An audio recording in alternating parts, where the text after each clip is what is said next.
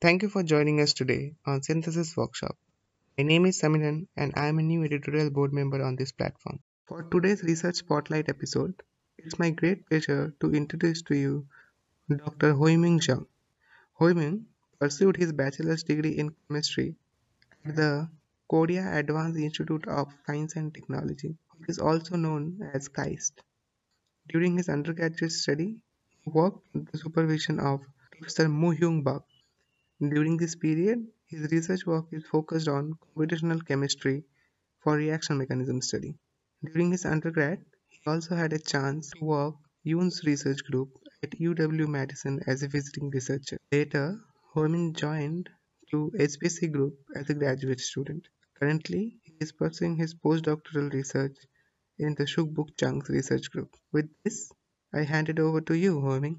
Thank you so much for joining and sharing your work with us today. Thank you for your nice introduction, and I am truly honored to be invited to this synthesis workshop. And today it is my great pleasure to share my recent research on the mechanistic snapshots of rhodium catalyzed acylnitrene transfer. Catalytic CH amination is a highly desirable process for accessing synthetically and pharmaceutically valuable amine products. In the Chang group, uh, we are mainly investigating CH amination reactions using transition metal catalysts and various amine sources, mainly through the nitrenoid transfer pathway. There are many available aminoiodinanes and hydroxylamine derivatives. And recently we have discovered the particular utility of dioxazolones as acylnitrenoid precursors.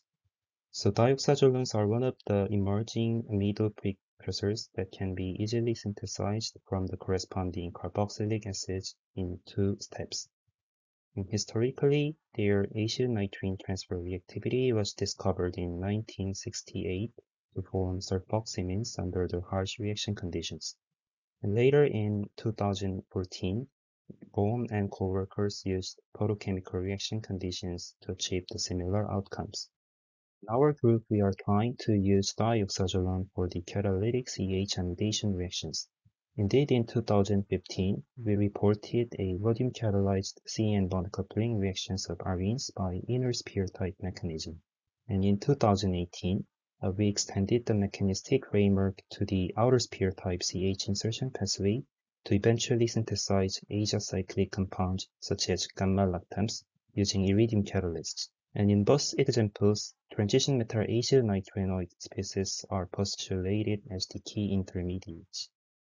The generally proposed mechanism of metal acylnitrenoid formation involves metal dioxazolone binding and decarboxylation.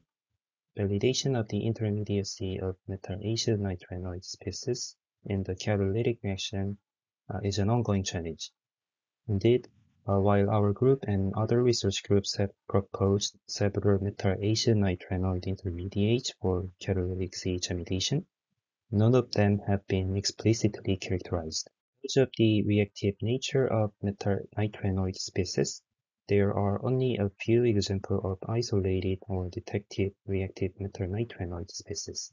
So recent studies by the Betley group have demonstrated the use of a Burke ligand system to stabilize the nitrenoid core.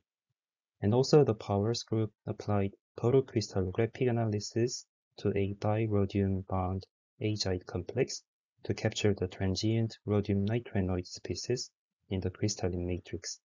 However, for our system using dioxazolone, it is quite difficult to isolate such nitrenoid species, mainly because of the two reasons. First, uh, since dioxazolone is a weakly binding ligand, the characterization of the initial dioxazolone coordination event is difficult. Even though the proposed metal nitrenoid species is formed, uh, we still need to block various decomposition pathways, such as Curtius type rearrangement. And therefore, to achieve the goal of characterizing elusive transition metal acyl nitrenoid species, we need to strategically design a new system. To overcome these key challenges, we came up with the idea of designing a bidentate dioxazolone ligand system that contains the nitrenoid precursor. And by doing so, we expected to increase the binding affinity of the nitrene precursor to the metal center.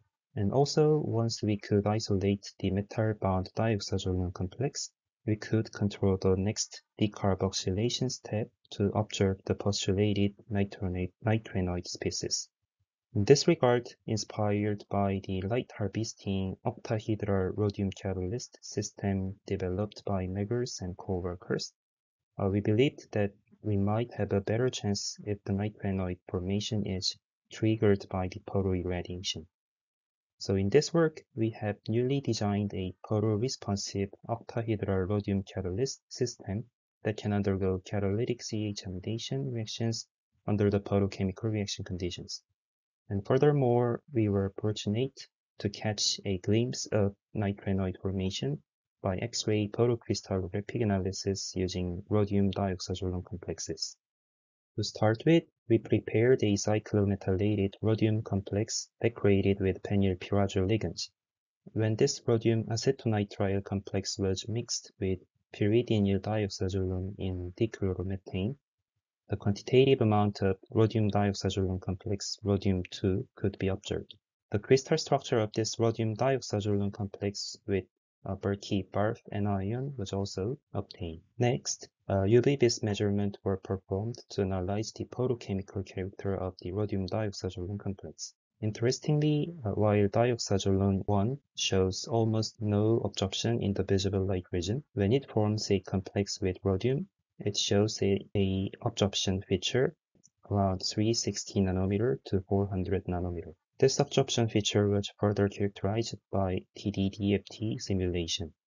And from this simulation, the lowest absorption band was found at 375 nanometer, which could be signed as the metal to ligand charge transfer nature from the rhodium d orbital to the pi star orbital of the dioxazolone ligand. After analyzing the photochemical properties of the newly designed rhodium dioxazolone complex, we next conducted a DFT calculation on the potential activation pathway of dioxazolone complex. After the ligand coordination, the CO2 liberation barrier on the singlet reaction pathway is 24 kcal per mole to form the postulated singlet nitrenoid species, rhodium-3. Interestingly, once rhodium-2 is excited into its triplet state at 51 kcal per mole, the next stepwise NO bond cleavage and CO bond cleavage steps were almost barrierless to form a triplet nitrenoid intermediate. And here, the estimated energy difference between the singlet and triplet nitrenoid species is only 1.7 kcal per mole. We were curious whether we could monitor the formation of rhodium acylnitrenoid species from the rhodium dioxazolone complex. To test this idea of light-triggered decarboxylation, we conducted an X-ray photocrystallographic analysis. This experiment was done by Dr. Dongwook Kim at IBS, and we conducted the experiment at Pohang Accelerator Laboratory, which provides synchrotron radiation. For the setup of the photocrystallography experiment, we placed an external 370 nanometer light source beneath to the sample, and upon irradiation, we conducted X-ray diffraction analysis using synchrotron radiation at 100 Kelvin and benefited from the synchrotron radiation, the data collection could be finished within few minutes. And interestingly, uh, if we subject this rhodium to barf sample for the photocrystallographic experiment using 370 nanometer light source, after 13 minutes of irradiation at 100 Kelvin, we were possible to obtain the structure of rhodium acylnitrenoid species along with the extruded CO2 molecule that resides in between the two CF3 groups of the barf anion. When looking at the structural parameters, we observed the significant contraction of rhodium nitrogen bond lengths from 2.15 to 2.02 angstrom. And also the CO double bond lengths of the captured carbon dioxide were 1.06 and 1.17 angstrom, which well match with the known CO double bond length of 1.16 angstrom. And also notably, when we conduct X-ray diffraction analysis over time, uh, we could observe the decreasing occupancy of the original rhodium dioxazolone complex. In addition to the photocrystallographic analysis, we also conducted mass spectrometry experiment in collaboration with Professor Mihi Lim at KAIST. Using MALDI mass measurement equipped with 355 nanometer laser, we could observe the mass value that matches with the rhodium acylnitrenoid species. The isotope labeling experiment with 15N sample gives one mass unit shifted value.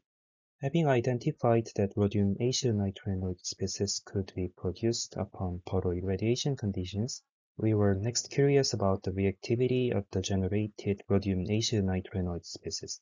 Indeed, when irradiating the sample with benzene or cyclohexane, we observed the corresponding sp2 or sp3 CH amidation adduct, and the structures of the product complexes were further confirmed by X-ray crystallographic analysis. Fortunately, the stoichiometric reactivity could be further expanded to the catalytic reaction, and this photocatalytic CH amidation required visible light irradiation conditions, where it can give diverse range of sp2 or sp3 CH amidation products. Notably, we could also introduce 15N labeled amide fragment to benzene when using isotopically labeled dioxazolone. For disubstituted arenes, the amidation was conducted at more electron-rich carbon, and also when employing phenol as the substrate, also CH amidation product was selectively formed. From the sp3 CH amidation side, when subjecting adamantane as the substrate, the tertiary CH bond amidation was preferred compared to the secondary CH amidation. Next, we were curious on which spin state of the rhodium nitrenoid species is active for the CH amidation. And extract the electronic nature of the rhodium acylnitrenoid species, some elucidative mechanistic probe experiments were examined under the catalytic reaction conditions.